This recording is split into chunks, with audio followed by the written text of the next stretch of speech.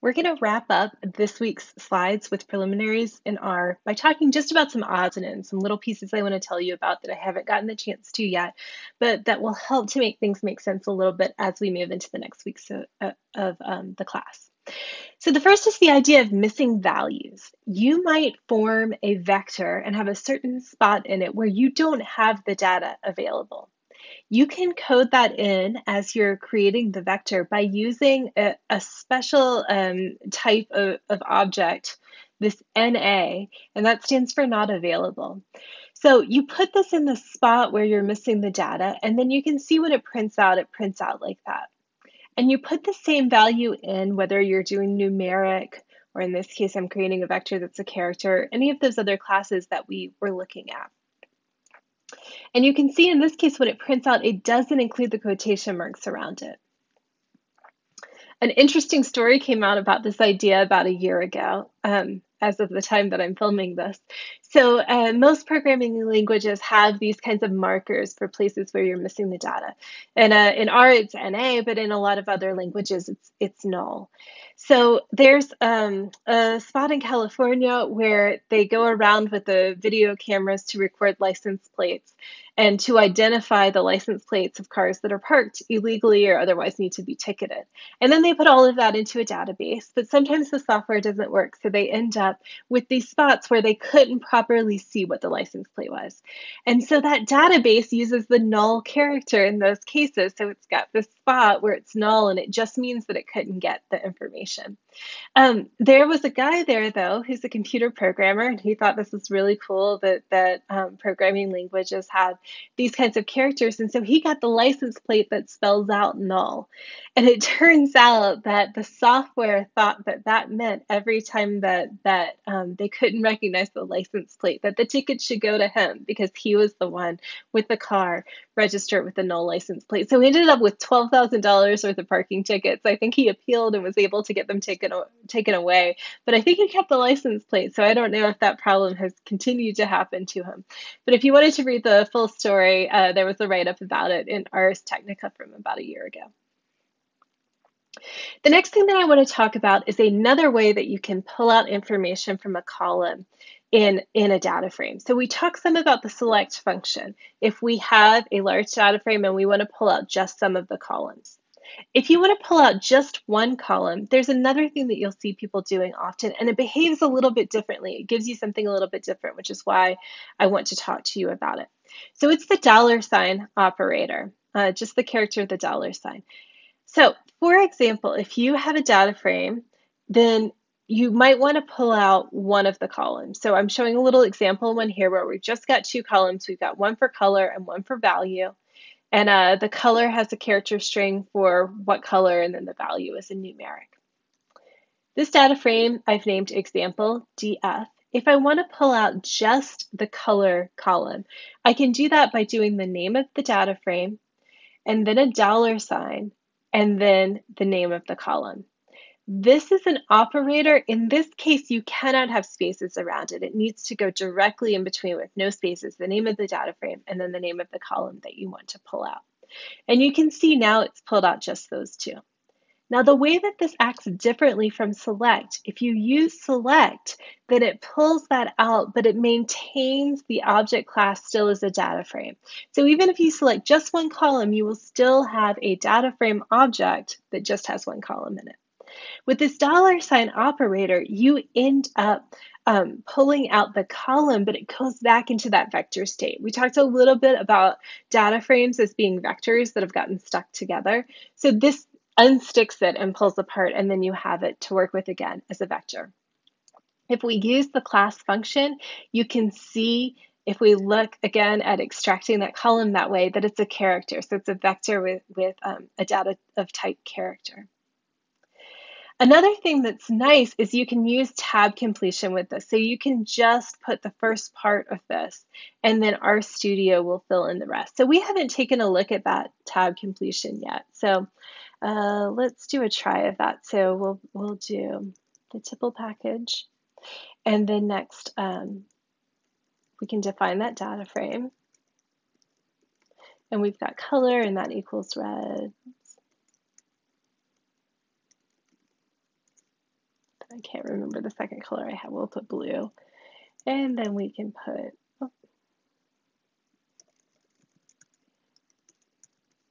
okay, so we can take a look again at this. Here's our data frame. So RStudio has something called tab completion, and if you start typing something, you can press the tab key, and it will give some suggestions either for data frames that have been named or, or other components, um, like functions. So you can see here our second thing is example data frame. So we can use that to complete it to save ourselves some time on typing. You can also use it after you've done the dollar sign operator. You can see as soon as I do that, we have popping up the two columns that exist in that data frame. And so then you can use the up or down arrow to select which one you want to do and then just press tab and it'll finish that out. So you can save yourself some typing. As a note, there are also some functions in the tidyverse for doing this, and we'll look a little bit uh, at those. One example is the pluck function from purrr, and there's also, I believe, a pull function from dplyr that will let you, again, extract a single column and switch it back into the vector class instead of having a one column data frame. The next thing that I want to talk about are paste and paste zero. Um, so let's talk about paste first. We've used this already in some of the examples. But with paste, you can take a series of different character strings. You can see here I've got three. So each character string is the piece that's inside the quotation marks. If you put those inside as the arguments to that function, the output will be a single character string. You can see now there's just one set of quotation marks. So it's taken all of those pieces and stuck them together. By default, it will separate each of those with a space when you stick them together. That's a behavior you can change though. So for example, if you didn't want anything when you separate them, you can use the separate argument, SEP, and paste, and you can set that to be empty. So we've got a quotation mark with nothing in between it here. When you run that, you can see everything's now uh, stuck together. A shortcut for this, because this is often something that you want to do, is to use paste zero. So the default behavior for that is it sticks together with no spaces. The next tidbit I wanted to talk about is um, has to do with assignment operations. So we talked about the gets arrow was a way to make that assignment.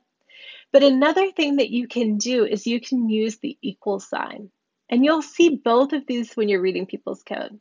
I'm going to recommend in this class you always use the gets arrow. When you leave the class, you're welcome to use either, but I would recommend that you be consistent. Code can look kind of sloppy when it combines a mixture of one or the other. There are a few reasons that it's helpful to use the gets arrow. The first is it shows the direction of the assignment. So the arrow is pointing to the name that you're giving for, for the output. And you can actually um, use a gets arrow that points in the other direction if you want to have all of your code first and then assign the, the object later. So we can go back and look where we defined um, the data frame before. And let's say that we coded this first and wanted to check and see, and we see that it works. And now we decide, decide since we've gotten it to work, that we want to give it an object name. So we can use the up arrow. That's a shortcut that lets you go back to the last line of code that you evaluated. And you can actually put a gets arrow going the other direction after your expression. And you can define your, um, your object that way. And you can see that that has succeeded in creating our object.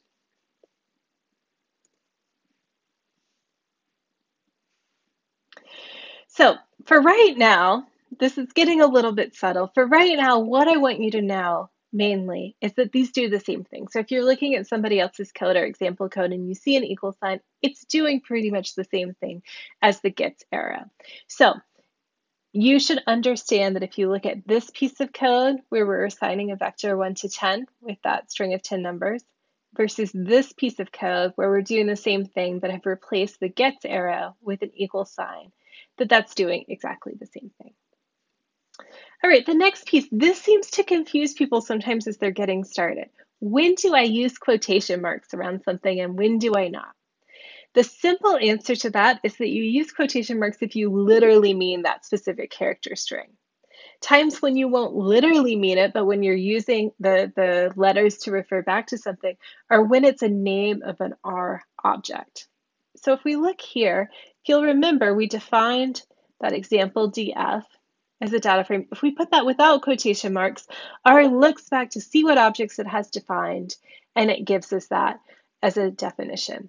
If we put the whole thing, though, in quotation marks and then run that, then R just prints out that literal string. It thinks that, that we literally mean that particular combination of characters.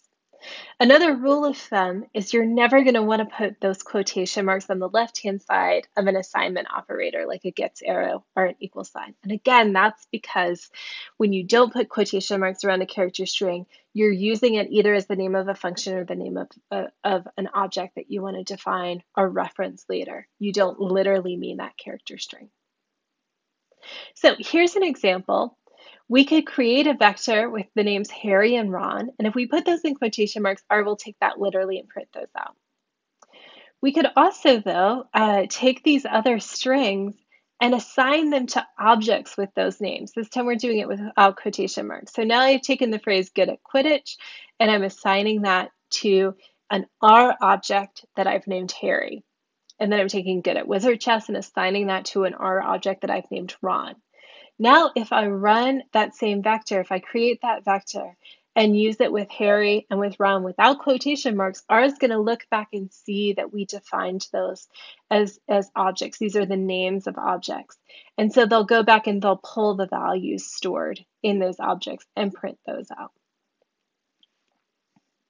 Now, I think most people grasp that, but then what makes it just a little bit confusing are there are these rules, but then there are a few cases where R lets you be lazy about the rules. And so that makes it feel a little bit like maybe you haven't understood it. So uh, we'll see some examples of this. One of them is when you call the library function. So the proper way to do this, um, not that you have to do it this way, but if you're following those rules, is to put the name of the package in quotation marks. We literally mean that string, that, that character string is the literal name of our package. So this would be the proper way to do it. But the library function allows you to be a little bit lazy and leave off those quotation marks. So if you put the name without doing that, then that'll evaluate just fine. You can do it either way. Another example that we'll look at a lot in the next few weeks is you can refer to column names in the same way without referencing those in inside quotation marks. While we're on the topic of being lazy, another way to be lazy is you can leave off the formal argument names when you call a function. I've tried in the slides right now to be very careful to do the full spelled out way where we take a function and then we take the formal argument name and equals and then we put in the value that we want for that. However, you can leave this first part off. Now, the trick there is that R will then match up any arguments you put in to the order that those arguments were defined when the function was written. So that means that if you do this, if you leave off that formal argument piece of it, you need to be really comfortable about what order the different arguments fall in. And we'll see some examples of that, but a lot of times people will leave this off, especially for the first value that they put in as a parameter when they're when they're running the function. So in this example, we could leave off the x equals, and you can see here we're running that same thing, and we've left it off and it evaluates with no problem. All right, the next thing I wanted to talk about is a different um, notation for calling a function that comes from a specific package. So we talked before about the phone number package, and that has a function called letter to number. So in this R session, I haven't loaded that yet. So if we try doing letter to number, you can see that I can't find it. Now, in the past, we used library to load the phone number package, and then we did this. But there's another way you can do it too without doing the library call. You can put the name of the library first, or the, the package that has this function, and then two colons, and then you can put in the name of the function that you want to run. And then we could do, for example, hello world. And you can see now it works. Now it's able to evaluate that. You won't use this very often as you get started in R because it takes you much longer to write. If every time that you use a function that comes from another package, you do that notation, it'll take quite a while. So it, it's much more efficient just to load the library once and then be able to call all the functions without this. However, there are a few places in the book and in the examples in the slide where I'll use that notation. And sometimes that's when we were, we're working with two packages that have a function with the same name. And so in that case, if you change the order that you load those two those two packages, then R could get confused about which one of the, the two versions you want to pull. Um, this can happen a lot. There, there are two popular packages called plyr and dplyr that have some functions with the same name. So that's one case where it'll happen. There are just, in general, certain functions that are, are named in a lot of different packages um, that can cause these kinds of conflicts or confusion. I'm telling you this now too, though, because you can use a nice trick with that tab completion and then with this, this, um, this way of being able to call a specific package. So first of all, if you know a package that a function's in, but you can't remember the name of the function, you can type out the name of the package and then the two colons. And then after that tab completion will give you the different values that you can use, the different functions that exist in that package. The other thing related to this is if you want to pull up a help file for a different um, functions in a package, you can do that same trick. And again, it's showing us the different help files that we have available, both ones that are at the, the specific level of functions and then also one that's more general for the whole package. And then you can see that pulls that up. All right, um, just to wrap up now, I wanted to talk and introduce you to the idea of another way of composing function calls. So we talked a little bit about this idea that you can put together some different nested function calls and R will evaluate the ones inside and then kind of work its way out. That can get really ungainly though, and so there's another way that you can do this using a special function called a pipe function. Uh, we will talk a little bit in the coming weeks about why it's named a pipe function. It is in a package called magrittr, which also has a wonderful story behind it, and we'll talk about that. But for now, I just want you to see this and have this idea kind of kind of percolating in your mind. So if we if we install and load the package magrittr, then we have access to this funny looking operator that's called the pipe operator in R. And now what we can do is if we want to send the output of one function in as a, a value in the next function, then we can pipe it through instead of doing that kind of nested composition where we build out. So we could do paste for hello world and then pipe that into a print function. And then it's taking as the first argument of print the output that we had from this last piece. Here's another example we'll end on of how to use that. So earlier we looked at doing this kind of composition when we're extracting pieces from a data frame, where we want to pull out both um, some rows, so we're using slice to do that, and some columns, so we're using select to do that. So in the example, I showed how we could do this in a nested way where we've got this slice call inside, and then we've got the select call wrapping that, where the output from slice goes in as our data for the select call. This kind of process, though, you can already see it's going to get really confusing to be able to go back through and see what part was doing what later because of the way it's nested, and you have to kind of play like find the parentheses to figure out um, how to unpack it. So with the pipe, you can line this up in a much clearer way where you can read down and see the actions that are happening. So in this case, we can run the slice first. And again, that was the piece that was on the inside here and then take the output of that and pipe it in, and it becomes the first argument, which is data for select. It becomes the first argument for select, and then we just need to fill out there with any of the remaining arguments that we had for that particular function call.